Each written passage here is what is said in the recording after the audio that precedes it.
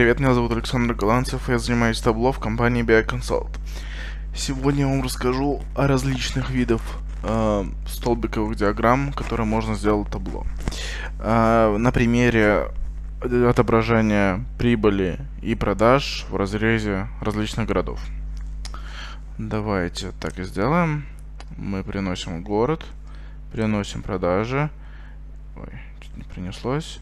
Приносим продажи, переносим прибыль и делаем dual axis. А, также делаем все в формате барчарта. Давайте отсортируем по продажам и синхронизируем прибыль и продажи. Ну, как видим, у нас есть а, продажи составляют определенный прибыль составляет определенный процент от продаж. Однако прибыль мы хотим, чтобы она была в формате круга, но для этого нам необходимо уменьшить размер парчарта и увеличить размер круга. И следующим этапом мы хотим вписать э, значение получаемой продажи э, для того, чтобы иметь более наглядные значения. Давайте чуть увеличим. В таком формате сделаем. Вот. И теперь можем э, вписать необходимые значения прибыли. Переносим и отпускаем левую кнопку мыши. Давайте ее впишем в, ровно в центр круга. И следующим этапом давайте э, добавим значение не в тысячах, а чтобы округлялось все до 1000. Сейчас покажу, что имею в виду. Делаем вот таким вот образом. Number custom. Давайте мы ставим один из и 1000. Вот в таком формате. И у нас все довольно удобно вписалось. Следующий этап, а, по большому счету, относится к тому, чтобы просто все настроить, чтобы все выглядело довольно красиво. Давайте добавим справа у нас э, значение. А, они все сразу прописались. И давайте даже сделаем прибыль не в формате эм, маржинальности абсолютной, а в формате рентабельности. То есть нам нужно поделить на сумму продажи.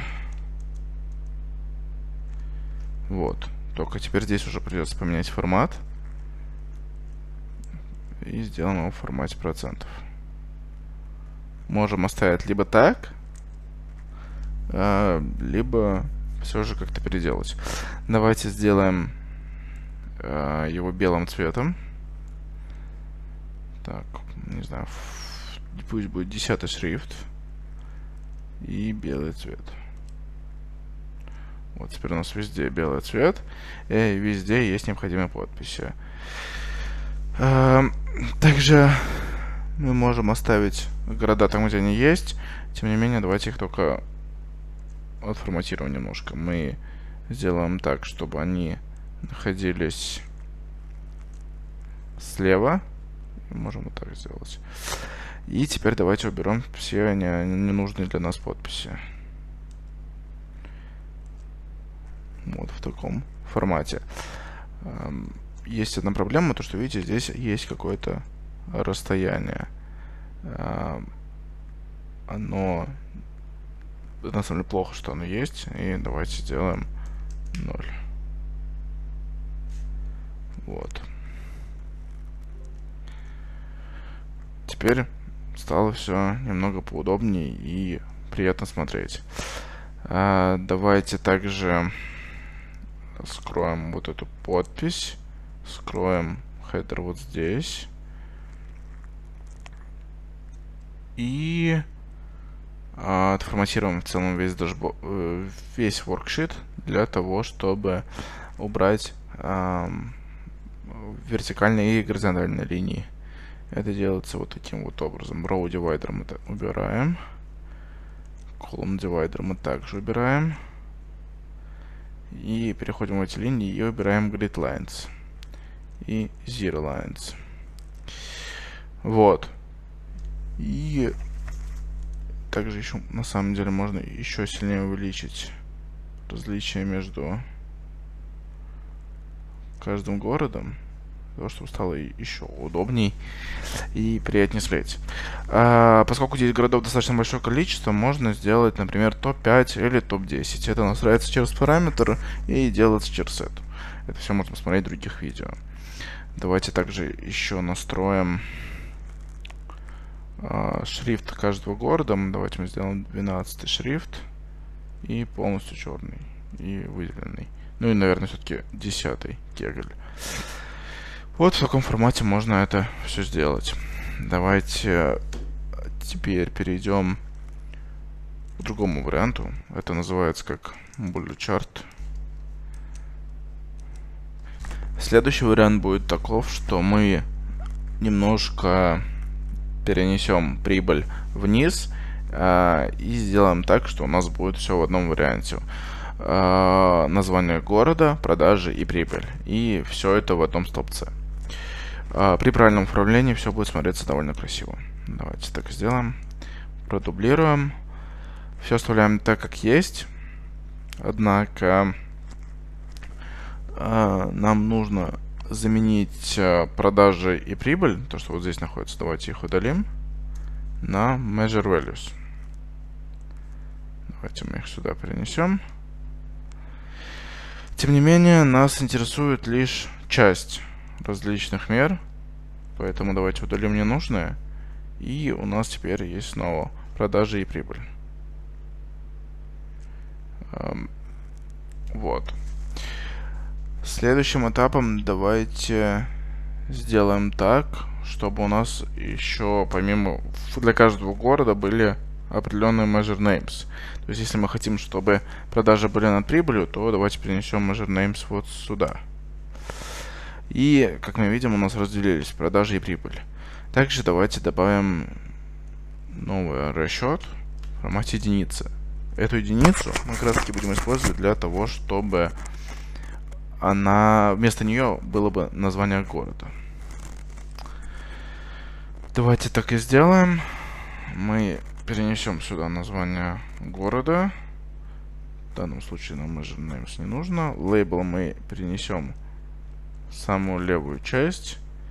Э, цвет нас интересует вот так. И сделаем его полностью белым. А, эти рамки, конечно, не нужны. Давайте их просто отключим. Вот. А, и последний этап это соединить все, что необходимо.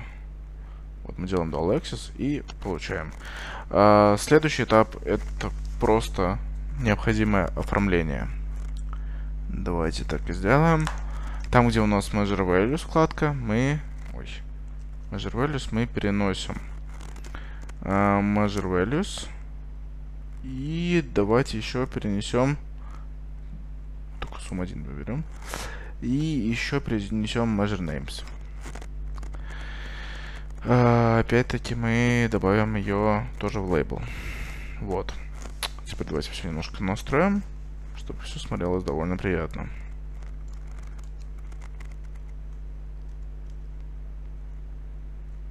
Берем measure name снизу. Сделаем небольшой пробел. Сделаем вот так. Увеличим размер. А measure names сделаем э, в bold формате. Вот. Теперь у нас есть каждая подпись. Давайте прибыль и продажи приведем все к одному формату. Прибыль сделаем в формате автоматик. И у нас опять-таки все показывается. И сделаем максимально справа, чтобы у нас а, все было видно.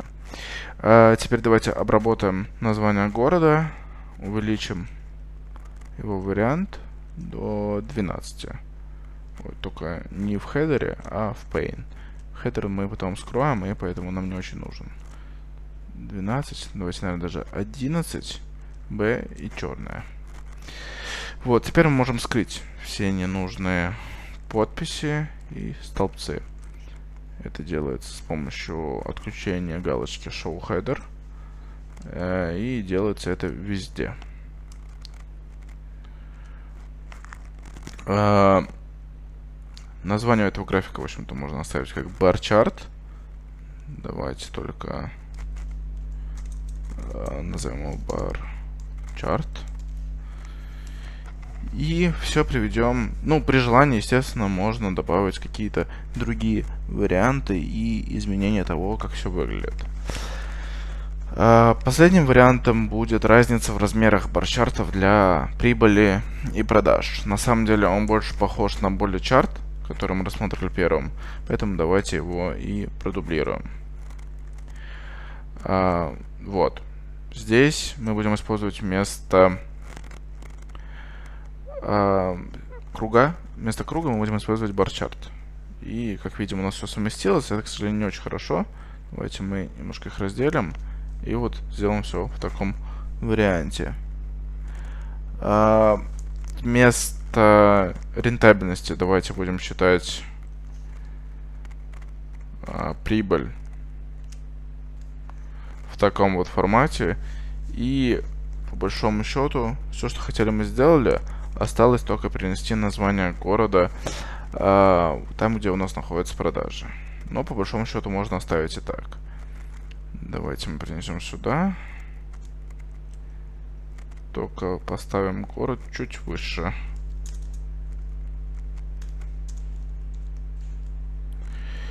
Э, перенесем его... Давайте мы все, все сделаем ровно посередине.